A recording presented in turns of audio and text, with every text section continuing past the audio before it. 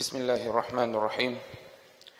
عن ابن عمر رضي الله عنهما قال كان رسول الله صلى الله عليه وسلم يعتكف العشر الأواخر, عشر الأواخر من رمضان. متفق عليه. Estimados irmãos, vamos a partir de hoje, ao caso do Sol, entrar na reta final do abençoado mês de Ramadã. Estou a falar concretamente a partir do caso do Sol, que entramos na vigésima primeira noite do Ramadã. Melhores noites, melhores noites do ano. Noites em que existem virtudes. O profeta sallallahu alaihi wasallam praticou vários atos para poder se beneficiar ou tirar proveito desta noite. O profeta sallallahu alaihi wasallam abandonou tudo, abandonou o dunya, deixou a sua família, deixou as suas esposas, não uma, nem duas, nem três, nem quatro, nem cinco. Deixou as suas casas, não duas, três, quatro, cinco, seis, muito mais. Abandonou tudo e dedicou-se a Allah subhanahu wa ta'ala. O retiro ao masjid. Estamos a falar concretamente do i'tikaf. O profeta sallallahu alaihi wasallam fez i'tikaf como hadith que vem mencionado no Bukhari e no Muslim e outros livros de hadith, onde Abdullah bin Umar radiallahu anhuma diz que o profeta sallallahu alaihi wasallam fazia o i'tikaf nas, nos últimos 10 dias de Ramadã. Na última dezena de Ramadã, à procura da noite de Al-Qadr. Vem narrações, o profeta sallallahu alaihi wasallam fez i'tikaf na primeira dezena e foi dito que o Intikaf estava, o Laylatul Qadr estava mais adiante. Ele fez a segunda dezena, foi informado que estava na última dezena de Ramadã e o profeta sallallahu alaihi wasallam fez Intikaf também na última dezena. Portanto, até a morte do profeta sallallahu alaihi wasallam, o profeta sallallahu alaihi wasallam fazia o Intikaf na última dezena de Ramadã. Portanto, o propósito era de encontrar aquela noite que Allah subhanahu wa ta'ala fala ser melhor que mil meses. Allah subhanahu wa ta'ala revela, ou revelou no Surah Al-Qadr, Allah revelou o Coran na noite de Al-Qadr. É nesta noite que acontece tudo. Allah diz: Inna anzalnahu fi laylatil qadr. وما أدراك ما ليلة القدر ليلة القدر خير من ألف شهر تنزل الملائكة والروح فيها بإذن ربهم من كل أمر سلام هي حتى مطلع الفجر Na verdade, nós revelamos o Coran na noite del Qadr. O que te fará saber o que é Laylatul Qadr? Allah subhanahu wa ta'ala diz: Laylatul Qadr é melhor, é superior do que mil meses, do que a ibada de mil meses. 83 anos e 3 meses. Laylatul Qadr é superior ao ibada destes anos todos Nesses anos todos estamos a falar da submissão total. Nosso salat, nosso jejum, nosso qiyam, todas boas ações. A noite del Qadr é superior que tudo isso, como Allah subhanahu wa ta'ala menciona no Coran. O que que acontece nesta noite? تنزل الملائكة والروح فيها بإذن ربهم من كل أمر. Os anjos descendem, em particular Jibril alaihi salam, com a permissão do teu Senhor e com a permissão do Senhor desses anjos, bi'idni rabbihim min kulli amr, com todo decreto, com tudo o que vai acontecer. Quem vai nascer, quem vai morrer, quem vai ganhar, quem vai perder, quem vai ser bem-sucedido, quem não vai. Acontece nesta noite. Por isso que uns até traduzem como noite do decreto, noite da medida, Portanto, são várias formas que foram aqui traduzidas, mas Allah subhanahu wa ta'ala diz nesta noite é o que, que acontece. Não é? Todo não é? o decreto acontece nesta noite. Fiha yufraku kullu amrin hakim. Como Allah menciona no outro versículo do Corão. تنزل الملائكة والروح فيها بإذن ربهم من كل أمر سلام هي Esta noite é uma noite de paz. Toda ela é paz. Salamun hiya hatta matla' al-fajr até o romper da aurora. Até a entrada do al-fajr. Portanto, é a noite abençoada toda ela. E o profeta sallallahu alaihi wasallam preocupou-se tanto na busca desta noite para alcançar virtudes desta noite. Então, o hadith que mencionei, as últimas práticas do profeta sallallahu alaihi wasallam era o intikaf, o retiro ao masjid. Ficava no masjid, separou, abandonou de tudo e de todos e montou uma tenda no masjid. Hadith do Bukhari. Montou uma tenda no masjid e ele estava lá dedicado somente a Allah subhanahu wa ta'ala, que nós iremos explicar alguns masails relacionados ao intikaf. Nós sabemos qual é a virtude do Umrah. No Ramadã, o profeta sallallahu alaihi wasallam diz: Umrah no Ramadã equivale a Hajj comigo. Não vamos encontrar que o profeta sallallahu alaihi wasallam foi fazer Umrah no Ramadã. Mas o profeta sallallahu alaihi wasallam fez intikaf. Não estou aqui a tirar o mérito. É verdade, você pode fazer Umrah no Ramadã, tem a sua recompensa. Mas nas últimas noites, na última dezena do Ramadã, o que o profeta sallallahu alaihi wasallam fez foi i'tikaf, retiro ao masjid e dedicar-se somente a Allah subhanahu wa ta'ala. O profeta sallallahu alaihi wasallam era a melhor criatura. O Corão menciona que Allah perdoou todos os seus pecados, mas mesmo assim, para transmitir até a mensagem, o valor desta noite, o profeta sallallahu alaihi wasallam também praticou este i'tikaf. Vamos nos dedicar, é? em particular nessas últimas noites do Ramadã. Fazemos i'tikaf, não é? o, o, nosso retiro, ou vamos ficar no masjid fazer i'tikaf. A recompensa é enorme. Se você não consegue fazer i'tikaf, pelo menos aproveite esta noite, ou estas noites. Infelizmente, nós vemos hoje as pessoas, mesmo no Ramadã, estão preocupadas com a hora que está a passar a novela, estão preocupadas com o futebol, estão preocupadas em fazer várias outras coisas que não lhe beneficiam. O dunya vai acabar. Allah não vai perguntar se você assistiu Liga dos Campeões, não vai perguntar se você viu a final da Liga Europa. As pessoas abandonam o Salat Tarawih no mês de Ramadã, abandonam não é, a, ibada para ficar assistir futebol, para ficar ver final deste jogo, daquele jogo, quer, quer ver tudo. Este dunya acaba. Nós teremos que voltar a Allah. A oportunidade que nós temos é esta que Allah deu-nos. Passou primeiros 10 dias, passaram, passaram os, os segundos 10 dias, 20 dias de Ramadã. Allah todas as noites está a libertar pessoas, almas do fogo do inferno. Isso não aconteceu contigo, você não fez parte. Tem a última dezena, tem esta chance que Allah subhanahu wa ta'ala mais uma vez está a dar a ti. Aproveite, maximize esta oportunidade. Peça a Allah, chore perante Allah subhanahu wa ta'ala para que Allah subhanahu wa ta'ala possa te perdoar. É o esforço que nós temos que fazer, é o mínimo.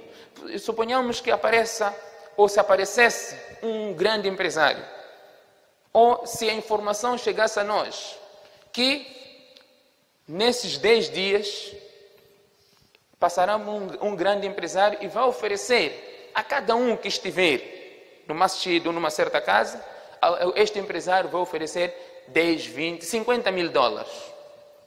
E nós não sabemos em que data específica este empresário vai passar para dar é, esta doação. Não sabemos qual é a data específica. Sabemos que vai passar entre dia 1 até 10. Nesta data ele vai passar. Quando exatamente? Não sabemos. Quem que não vai estar presente lá? Hum? Toda a gente vai estar lá, porque é um benefício direto que nós estamos a ver. Vamos ganhar uma graninha, uma mola, não é?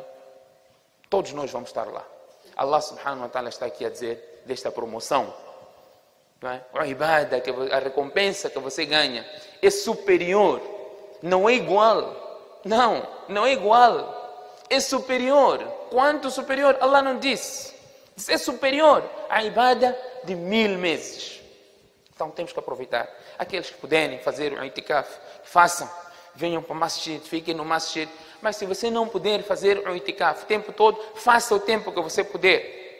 Faça o tempo que você puder. Pode ser no mínimo, desde o, caso do sol até o romper da aurora. Faça este itikaf. O, o, o sunnah de itikaf, nós iremos já mencionar é? os tipos de itikaf, o profeta uh, que o Sharia uh, nos traz, iremos já explicar, mas o mínimo de itikaf você poderá fazer. Portanto, uh, o propósito era exatamente este, de podermos encontrar a noite de Al-Qadr. Dentre os dias do ano todo, os primeiros 10 dias, dias, os primeiros 10 dias são melhores do ano. Os primeiros 10 dias de Dhul-Hijjah são melhores dias.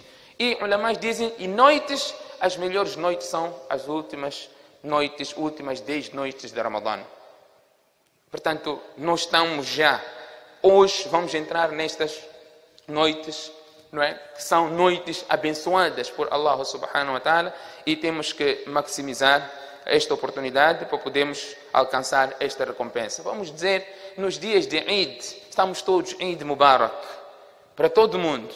Eid Mubarak, Eid Mubarak, um feliz Eid para ti. As pessoas que de facto merecem Eid Mubarak, Eid Mubarak, tenham Eid abençoado, são aquelas pessoas que aproveitaram as últimas 10 noites de Ramadã. Esses sim merecem não é? é, é este, é este Eid Mubarak que nós damos. Portanto, temos que fazer de tudo para podermos fazer parte desses indivíduos que Allah subhanahu wa ta'ala é, faça com que nós possamos de facto fazer parte dessas pessoas. Se você encontrar esta noite da Al-Qadr, encontrou a noite, o que, que você tem que fazer? Faça tudo o que for ibada. Faça tudo tudo o que for do bem, faça, porque a recompensa é enorme. A recompensa é enorme. Estou a falar tudo que seja do bem, que o Sharia considerou como algo bom. Temos que fazer adhkar, tasbih, tilawat al-Quran, salat facultativo, tahajjud, dua, tudo isso. Mas o profeta sallallahu alaihi wasallam respondeu quando Aisha radiallahu anha questionou, o profeta falou do itikaf, então, falou do, do Laylatul Qadr. Então, Aisha radiallahu anha pergunta ao profeta sallallahu alaihi wasallam, o mensageiro de Allah, e se eu encontrar esta noite del Qadr, o que tenho que recitar? O que eu tenho que recitar? O profeta sallallahu alaihi wasallam, se fosse se a nossa percepção, uma vez que temos aqui a consciência, uma noite muito virtuosa, muita recompensa, podia talvez dar uma lista muito grande, faça um milhão de Durud Sharif, não é? como alguém já anuncia. Hoje, hoje vemos cada coisa que cada um traz, inventar o din. O cúmulo é aparecer em pessoas que têm conhecimento a defender este tipo de prática. O profeta sallallahu alaihi wasallam não disse isso. O profeta sallallahu alaihi wasallam disse a Aisha radiallahu anha: recite Allahumma innaka afuun tuhibbul afwa fa'fu anni. O Allah, tu és absorvidor, perdoador, gostas de perdoar e perdoa. É o perdão que o profeta sallallahu alaihi wasallam ensinou a Aisha. É, é particularmente este dhikr. Allahumma innaka afuun. Todos nós temos de decorar isto. Allahumma innaka afuun. Tuhibbul afwa. Fa'fu anni. Todos nós. E vamos fazer este nosso dhikr nosso tasbih, não é? Nessas noites ímpares de, de Ramadã. A, a busca da, Al-Qadr, se nós encontrarmos Al-Qadr, portanto nós fizemos este tasbih. E ulamás dizem, Allah como diz, noite da Al-Qadr. A noite começa com o caso do sol até o romper da aurora. Essa noite. Portanto, temos que aproveitar. Não, não, não podemos desperdiçar esta oportunidade porque Allah subhanahu wa ta'ala está a nos dar essa chance. Se nós pudéssemos falar com os mortos, se nós pudéssemos ter o relatório daqueles que estão no cemitério, prezados irmãos, ninguém poderia desperdiçar nenhum tempo de vida que Allah subhanahu wa ta'ala deu. E nós temos esta informação. O Corão está lá a mencionar. Os ditos profetas sallallahu alaihi wasallam estão lá. E nós o que fazemos? Estamos completamente negligentes. اقترب للناس حسابهم وهم في غفلة موردون. Aproxima-se a hora não é, da prestação de contas para as pessoas e elas encontram-se completamente negligentes e desdenhados. Não estão nem sequer ali para este momento que Allah subhanahu wa ta'ala diz se aproxima. Portanto, nós temos que fazer de tudo para aproveitar estas noites ímpares que começamos já hoje a partir da hora de Maghrib. O outro aspecto que é importante mencionar é a questão mesmo do as regras relacionadas ao intikaf. Existem tipos de intikaf. Existe um intikaf que é o wajib, que é uh, aquele intikaf, aquela promessa que nós fazemos.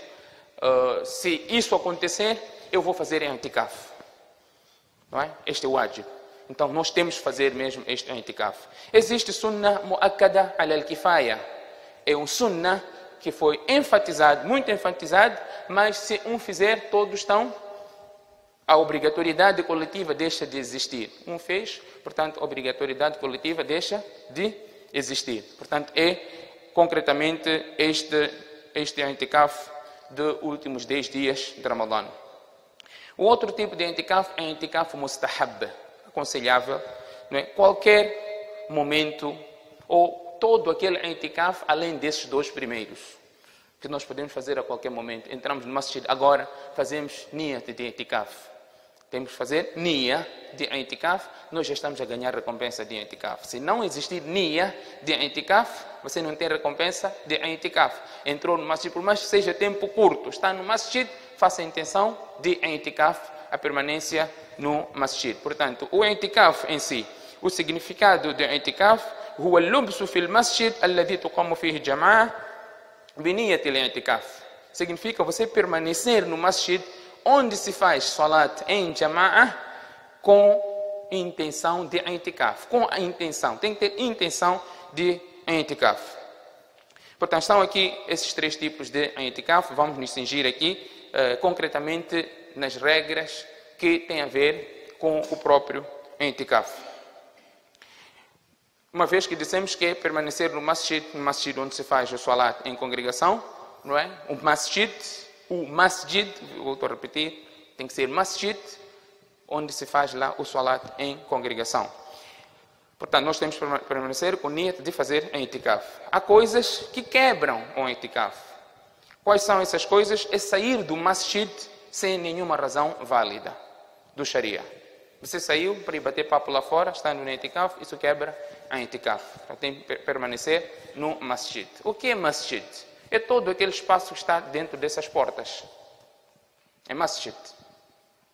Todo o espaço aqui dentro, dentro dessas duas portas, é considerado de masjid. Até teto também é considerado de masjid. O teto de masjid é considerado como masjid. Portanto, sairmos desse espaço sem nenhuma razão válida do Sharia isso invalida o itikaf e quebra. Aquela mulher que está fazendo itikaf e surgiu o período menstrual, o itikaf também quebra. Quebra o itikaf, o ato sexual. Allah diz: "Wala tubashiruhunna wa antum akifuna fil masajid". Não não se envolver com as mulheres estando no itikaf, no masjid, ou homem com a mulher no masjid, isto quebra a itikaf, ou atos preliminares ao ato sexual, como por exemplo beijo, é? e tudo que liga a isso também quebra o itikaf. Coisas permissíveis no itikaf é, são necessidades biológicas. Você tem de ir para o banheiro, então a pessoa poderá sair do masjid, não existe nenhum problema quanto a isso. E não significa que a pessoa tem que andar às corridas porque está no itikaf. Caminhada normal. Não é necessário que esteja a correr porque tem que estar só no masjid. Uma rotina normal. Seus passos normais para se dirigir ao masjid. O outro aspecto que é importante aqui realçarmos uh, qualquer escusa do Sharia, sair por alguma razão válida do Sharia. Por exemplo, você tem que sair para efetuar, está no masjid, mas lá não se faz o salatul jumu'ah, sair do masjid para ir efetuar o salatul jumu'ah, portanto isto não quebra o itikaf, ou por alguma necessidade extrema, a pessoa sai do masjid, também não quebra o itikaf, por exemplo, medo de destruição própria, algum perigo, então ele sai do masjid por causa daquele perigo, é? então isto também não quebra o itikaf. Por exemplo, incêndio. Você não pode agora permanecer no masjid porque está no itikaf. Masjid está a arder. Você diz, não, eu estou no itikaf. Não é? Também acho que ninguém resiste. Não? Ficar lá só, estar no itikaf, o fogo a pegar. Portanto, mas a pessoa terá que sair e imediatamente dirigir-se para o outro masjid. Há algumas etiquetas que devem ser observadas estando no masjid e no itikaf. Não falar senão coisas boas, falar o bem, escolher melhor masjid para fazer em itikaf. Se você puder ir fazer masjid no itikaf, masjid al-haram, masjid nabawi, masjid al-aqsa, é, é melhor. E se não, você fazer no masjid al-jami, um grande masjid, é melhor fazermos em itikaf nesses lugares e ocupar-se com a recitação do Coran, dhikr, salat e salam al Nabi sallallahu alaihi wasallam, fazer salat e salam para o profeta sallallahu alaihi wasallam, que é muito virtuoso, muito virtuoso. Mas vir aqui especificar, tem que fazer um milhão, ou alguém acha, não é? como mensagens estão circular já nas redes sociais, precisamos coletar um milhão de salat e salam, de durud sharif para Nabi. Brincadeira de mau gosto com Dino. Brincadeira de mau gosto com dinheiro. Quem é que quer coletar? E quem é que quer enviar para Nabi? Se Allah subhanahu wa ta'ala estipulou anjos para coletar teu salat e salam para e fazem chegar ao profeta sallallahu alaihi wasallam. Então, cúmulo é aparecer pessoas que estudaram defender este tipo de ato. Estou a repetir isso porque é uma coisa lamentável quando nós escutamos este tipo de coisa, o din deixa de ficar preservado. Mas eu não vou abordar isto neste, neste tema que não tem muito a ver. Inshallah, na próxima lição nós iremos abordar as virtudes é? de fazer salat salam. Aproveitar essas oportunidades todas estamos para esclarecer alguns aspectos que têm a ver com uh, alguns, algumas iniciativas ou algumas inovações que as pessoas consideram de bons atos. Vamos, inshallah, esclarecer mais uma vez esta questão. E também no Itikaf aconselha-se fazer leitura de livros islâmicos, aprender alguma coisa, outra vez, aprender, sentarmos e aprendermos, conversarmos de Allah subhanahu wa ta'ala, tudo que nos liga a Allah subhanahu wa ta'ala. Portanto, esta é a oportunidade única que nós temos, que Allah subhanahu wa ta'ala nos proporcionou, portanto, não podemos desperdiçar esta oportunidade e vamos aproveitar da melhor forma para que possamos, de facto, eh, alcançar esta, esta dádiva de Allah subhanahu wa ta'ala que está à nossa frente. Que Allah subhanahu wa ta'ala aceite de nós e faça-nos com que possamos de facto ter este fruto que o Corão menciona e faça com que todos nós possamos terminar o Ramadã alcançando a noite del Qadr e fazer parte deste, daqueles que foram libertos do fogo do inferno. سبحانك اللهم وبحمدك نشهد ان لا اله الا انت نستغفرك ونتوب اليك